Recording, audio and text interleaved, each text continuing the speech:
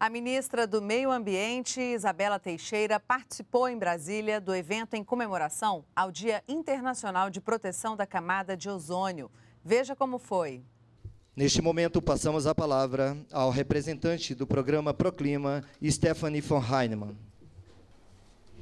Excelentíssima ministra Isabela Teixeira, prezado Jorge Chidic, prezado Volny Zanardi Júnior, em primeiro lugar, gostaria de agradecer o Ministério do Meio Ambiente, o Programa das Nações Unidas para o Desenvolvimento e o Instituto Brasileiro do Meio Ambiente e dos Recursos Naturais Renováveis pelo convite.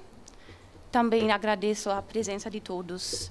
Eu estou aqui hoje para representar o senhor Bernhard Ziegler, que é o diretor internacional do programa Proclima, é um programa apoiado pelo governo alemão por meio da Agência Cooperação Internacional, AGIZ.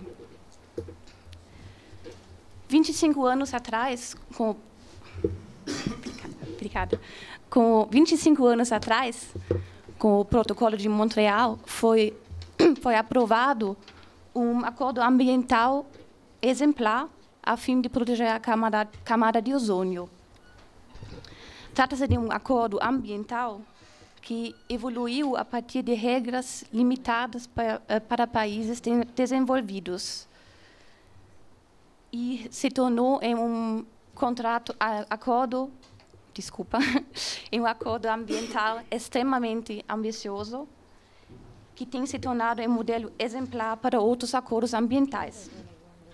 Estudos científicos têm mostrado que o protocolo de Montreal é bem eficaz e que também é uma prova para mostrar que esforços conjuntos entre os governos, com o setor produtivo e também com a sociedade de um todo é uma forma de enfrentar desafios ambientais, problemas ambientais de uma forma uh, bem eficaz e com sucesso. A GZ Pro Clima e a agência bilateral na implementação do Protocolo de Montreal e estamos honrados de ser parceiro do governo brasileiro e de poder fazer parte do sucesso do Protocolo de Montreal no Brasil. Nesta parceria, especialmente destaca-se destaca a implementação do programa de treinamento e capacitação de aproximadamente 25 mil mecânicos e técnicos de refrigeração que foram treinados em boas práticas de refrigeração em cooperação com o Senai, no âmbito do Plano Nacional de Eliminação de CFCs. Hoje, não somente comemoramos os resultados alcançados no passado, mas também podemos olhar para o Protocolo de Montreal com sucesso visando a continuação desse sucesso através do Programa Brasileiro de Eliminação de HCFCs, que foi aprovado no ano passado pelo Fundo Multilateral para a implementação do Protocolo de Montreal. A AGZ, em cooperação com o Ministério do Meio Ambiente, vai implementar as atividades no setor de serviços sob a coordenação do Ministério do Meio Ambiente.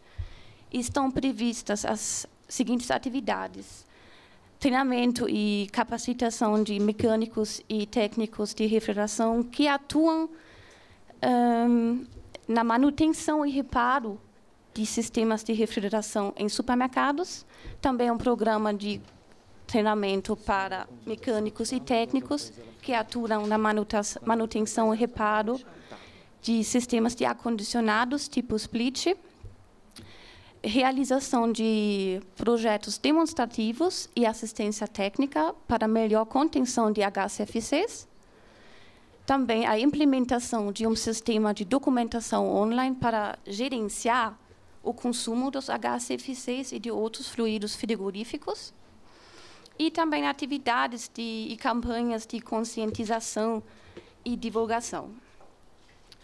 Nesse sentido, Gostaria de agradecer à excelentíssima ministra Isabela Teixeira e o seu ministério, especialmente à equipe da proteção da camada de ozônio, Gostaria de uh, agradecer também o senhor Jorge uh, Chidiek e a sua equipe do Programa das Nações Unidas para o Desenvolvimento e também o senhor Vone Zanardi Júnior e a sua equipe do IBAMA pela cooperação exemplar. Agradeço por sua atenção. Muito obrigada.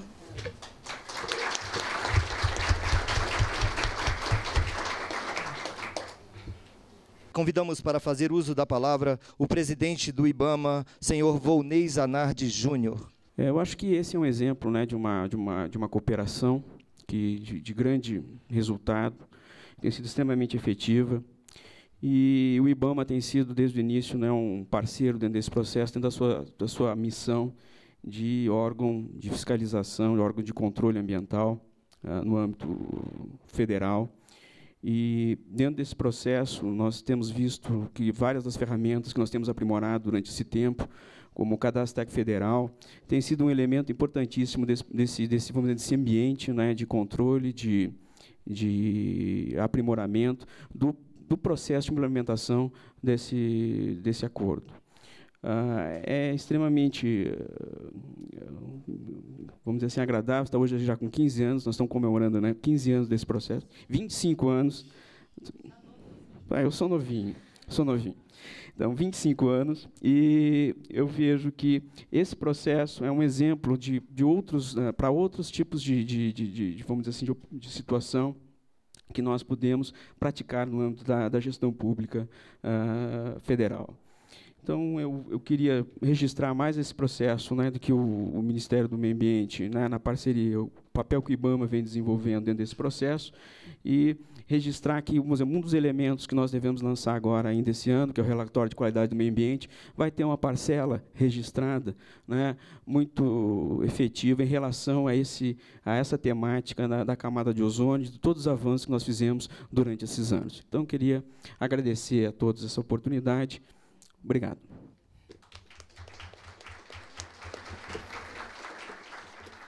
Nós agradecemos as palavras do presidente do IBAMA, senhor Volney Zanardi Júnior, e agradecemos também a presença da gerente de programas de cooperação multilateral da ABC, Alessandra Ambrosio.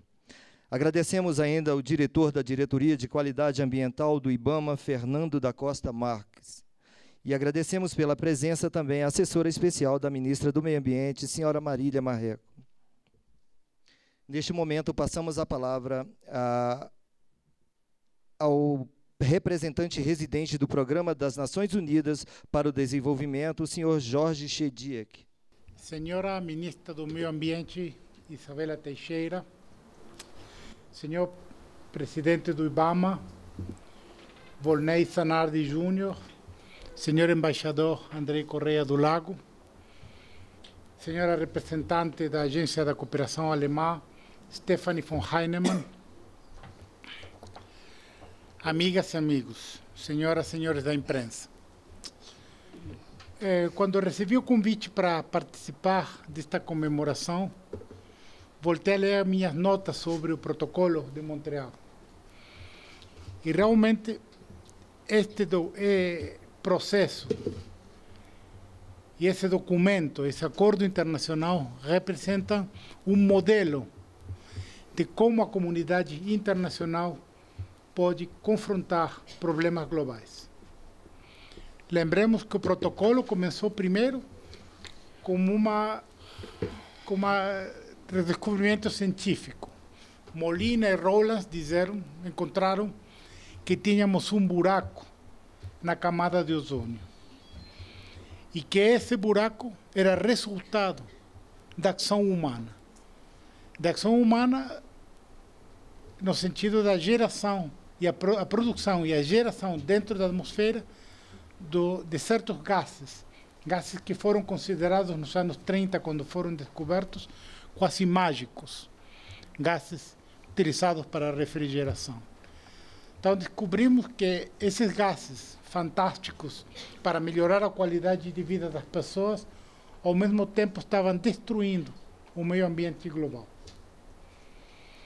Como sempre, esses eh, descobrimentos científicos foram questionados muito tempo. Que não tínhamos buraco na capa de ozônio.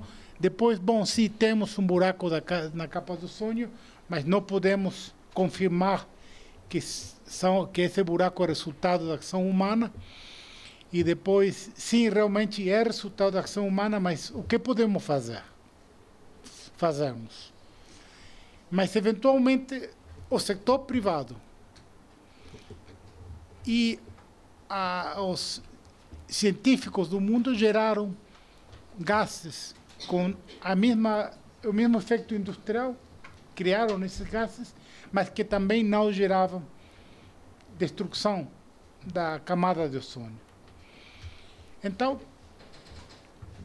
é, o resultado dessa, desse acordo e dessa de que tínhamos um problema e as condições tecnológicas para resolver esse problema geraram este acordo que hoje estamos comemorando.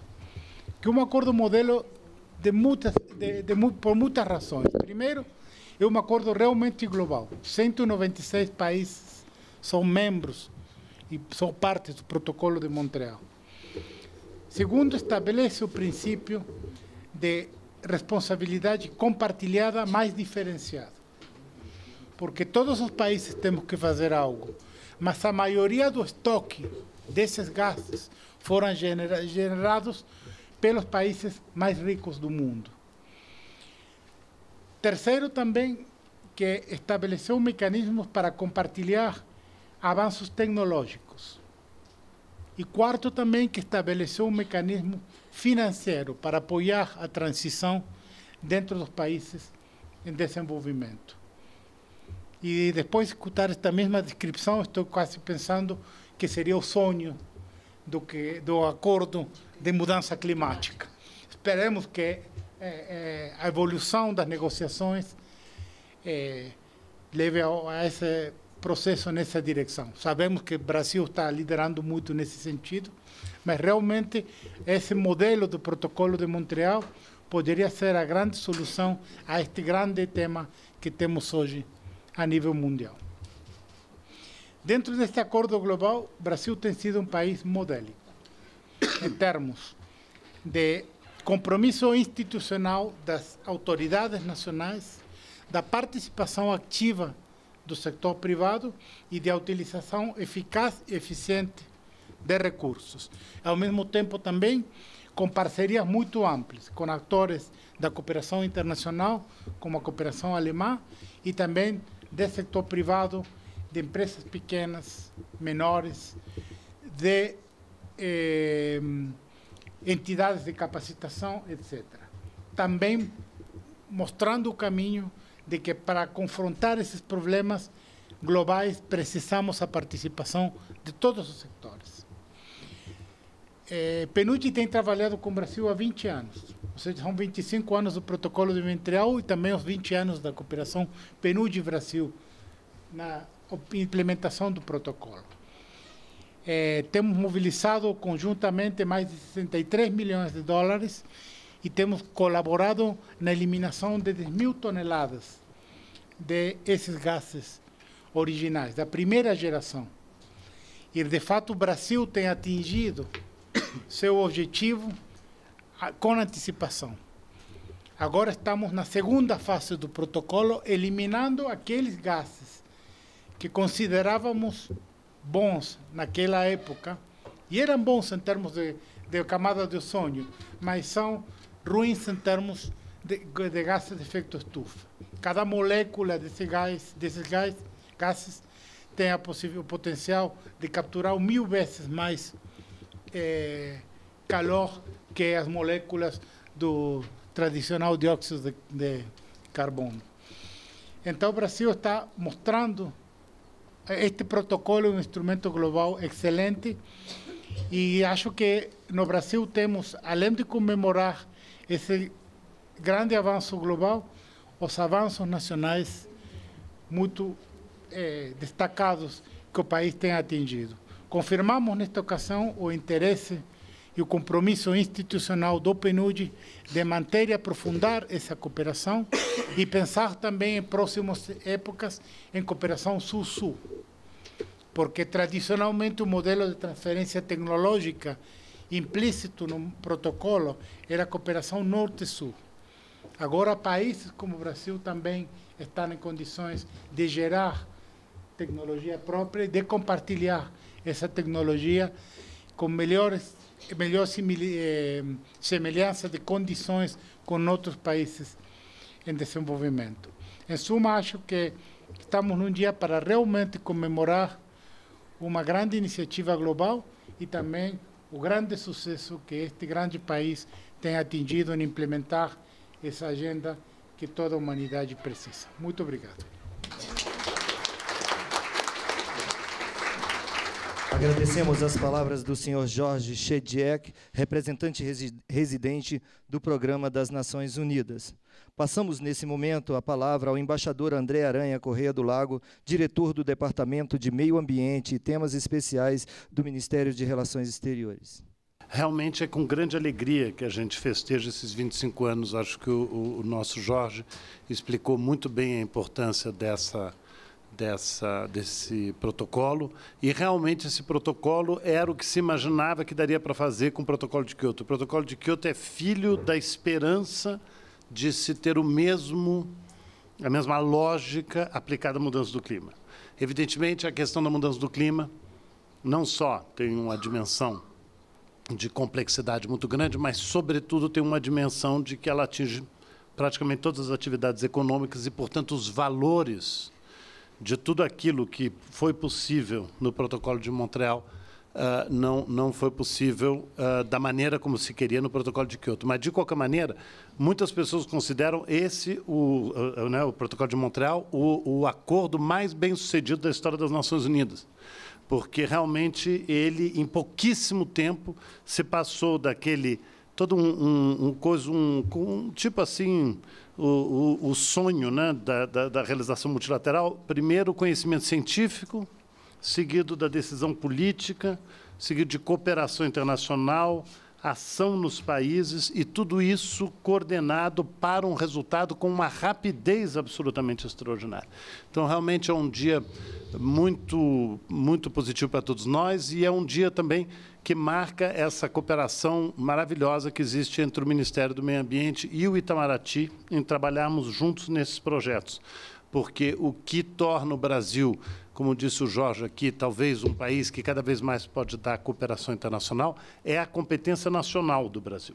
É o fato de nós termos cada vez mais pessoas de grande qualidade, muitas vezes com o apoio da cooperação internacional, nós criamos no Brasil um corpo de pessoas invejado por, pela maioria dos outros países em desenvolvimento e eu acho que nós estamos entrando numa etapa em que o Brasil vai ter obrigação de uh, uh, levar essa sua experiência para os outros países e o Ministério do Meio Ambiente e o IBAMA são, são extraordinários nesse sentido. Então, eu acho que é um dia realmente de grande alegria para todos nós e muito obrigado pelo convite, ministro.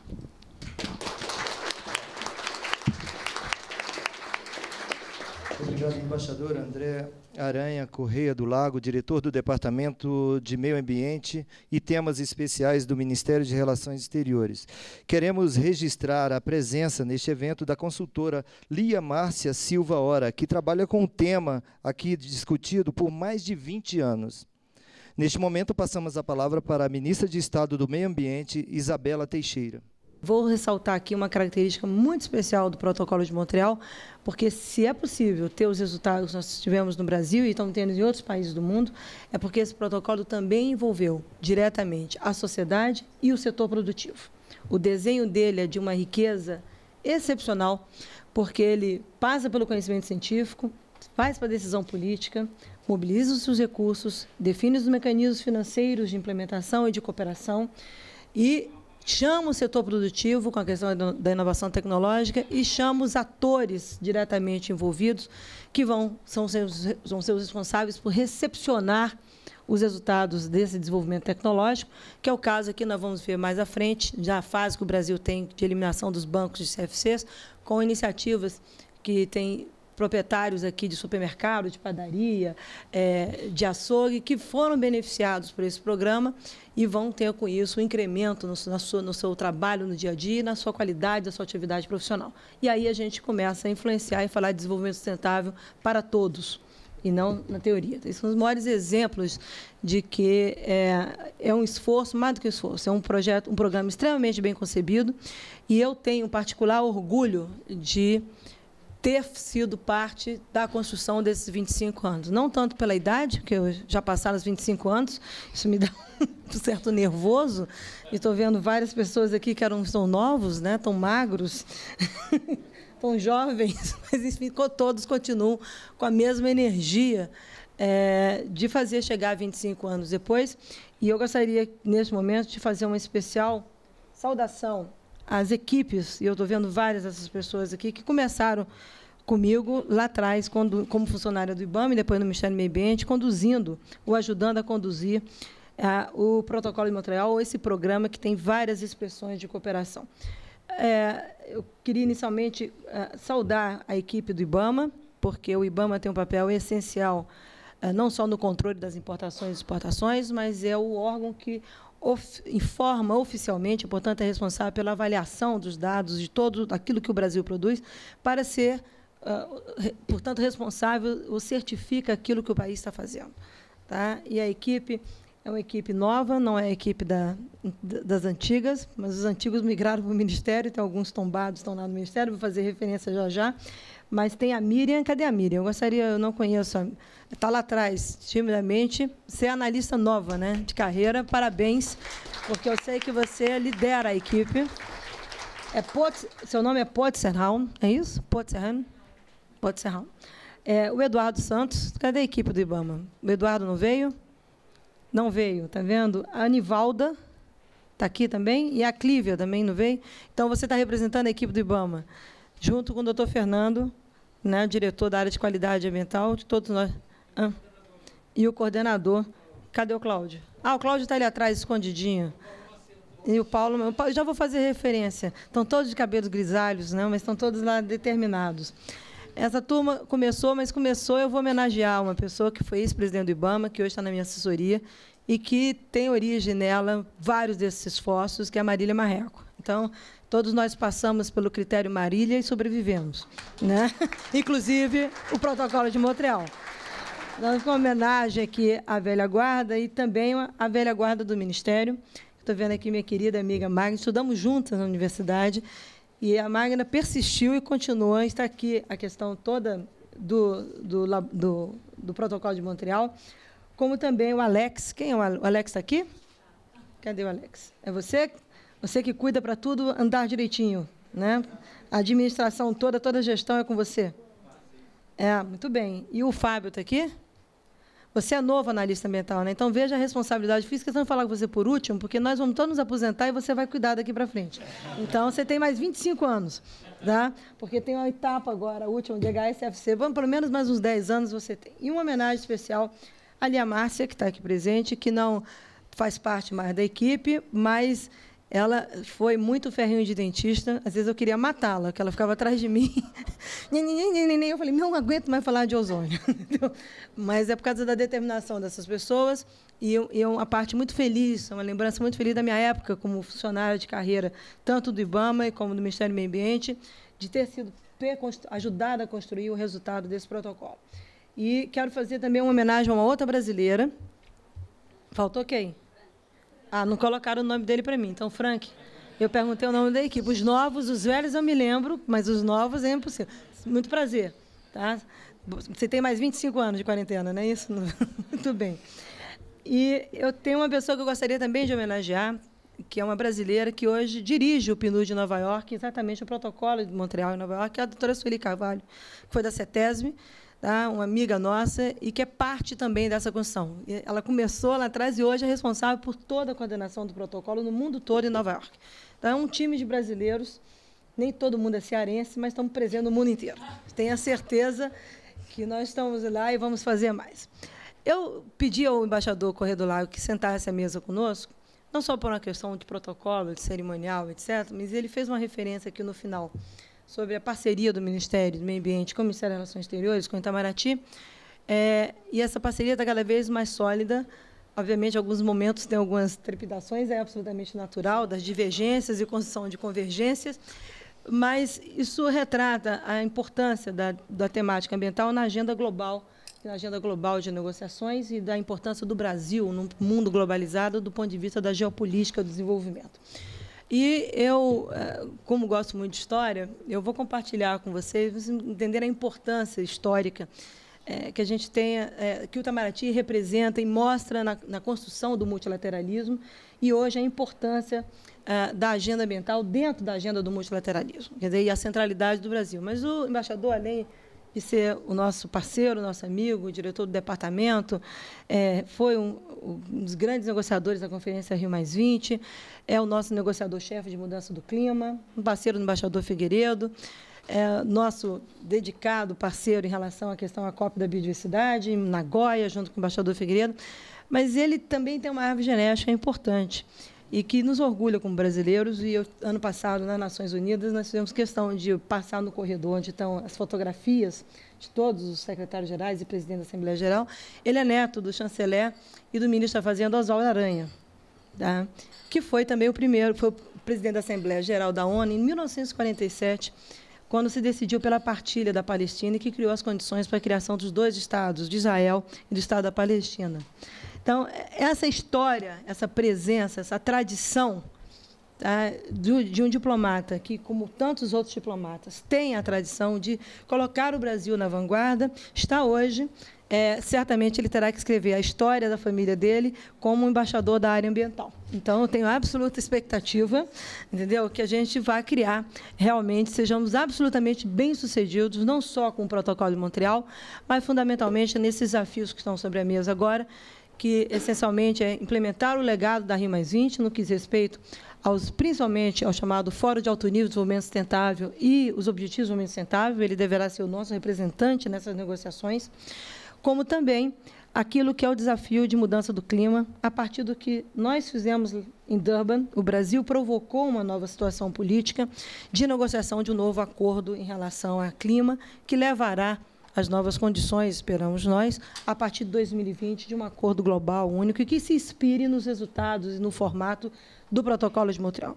E como também é responsável, está nessa batalha conosco, da implementação, da ratificação e da implementação do Protocolo de Nagoya no âmbito da Convenção da Diversidade Biológica. Estou falando isso porque para vocês compreenderem que o legado de 92 está, em parte, aqui nesta mesa, nessa sala, com os senhores ajudando a construir os resultados desse legado, que hoje ganha um novo patamar com a Rio Mais 20 e ganha um novo patamar com os resultados do Protocolo de Montreal, 25 anos depois, e com os resultados ah, que nós temos fé que conseguiremos nas negociações de clima e nessa nova fase da Convenção da Diversidade Biológica.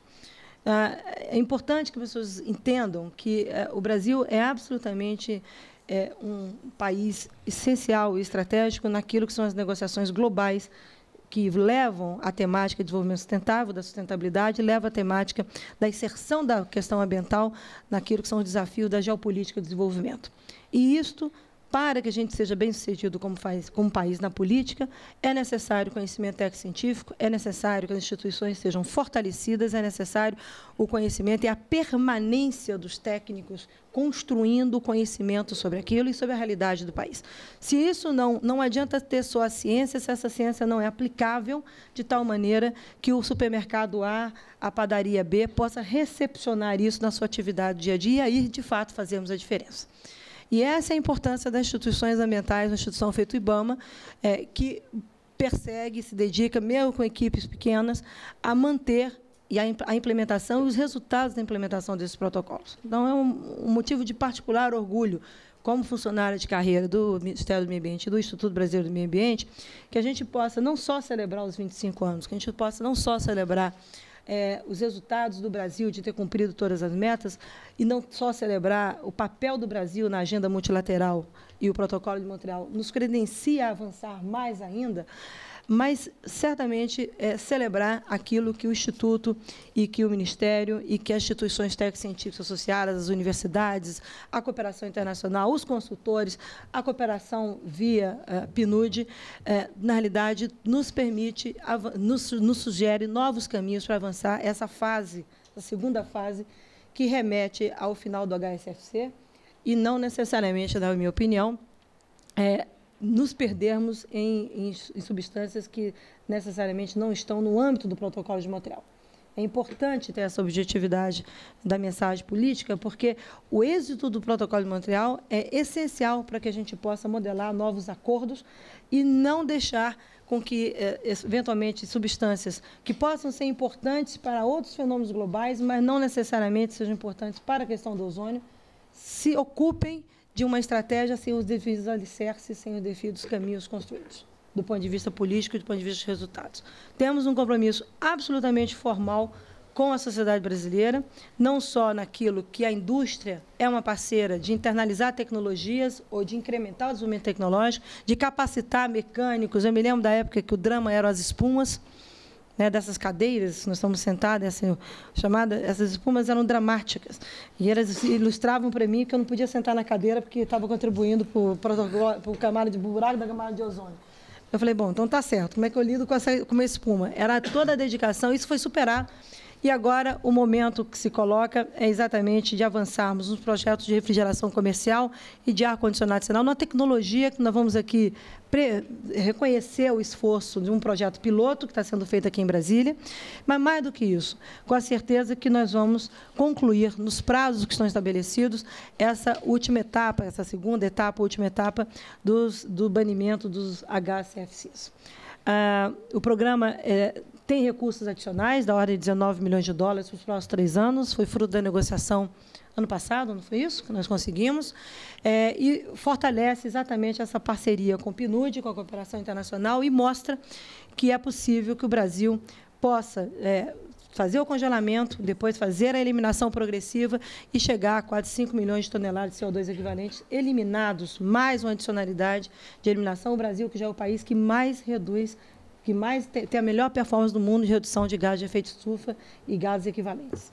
Então, é, é absolutamente importante que a sociedade brasileira tome conhecimento de que ela é parte dessa construção global de um planeta melhor, mas ela não é só parte ela é responsável por resultados absolutamente exitosos e que, mais do que isso, que como ela é responsável por isso, nós teremos que estender essa nossa performance a outros parceiros, a outros países em desenvolvimento, de tal maneira que a gente possa dar celeridade a esse acordo e celeridade aos bons resultados. Então, eu gostaria aqui, mais uma vez, de parabenizar a equipe pelo esforço, é, dizer que valeu a pena, né? os últimos 25 anos valeram a pena do ponto de vista de dedicação. Eu vejo a Magna. Eu fui sair várias vezes do ministério e a Magna estava lá no ozônio. Ela foi literalmente capturada e dedicada é, e manteve os compromissos. Está aqui o país cumprindo mais uma vez as suas etapas, os seus compromissos e, mais do que nunca, oferecendo uma oportunidade, respeitando a sua história, a tradição de brasileiros ilustres no multilateralismo, quanto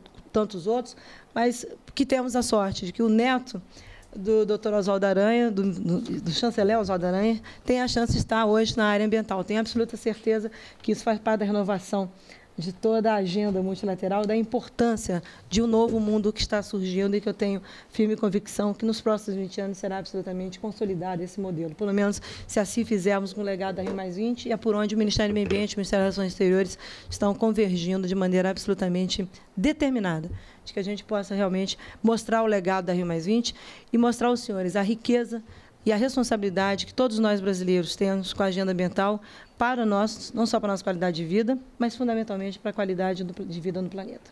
E esse é o grande desafio. Então, parabéns a todos. É, e quero dizer que eu estou absolutamente satisfeita com o tal do O3.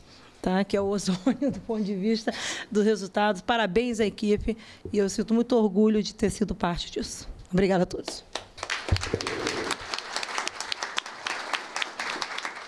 Você assistiu à comemoração ao Dia Internacional de Proteção da Camada de Ozônio, com a participação da ministra do Meio Ambiente, Isabela Teixeira. Com o tema Protegendo Nossa Atmosfera para Gerações Futuras, o evento contou com a apresentação dos resultados do Protocolo de Montreal no Brasil.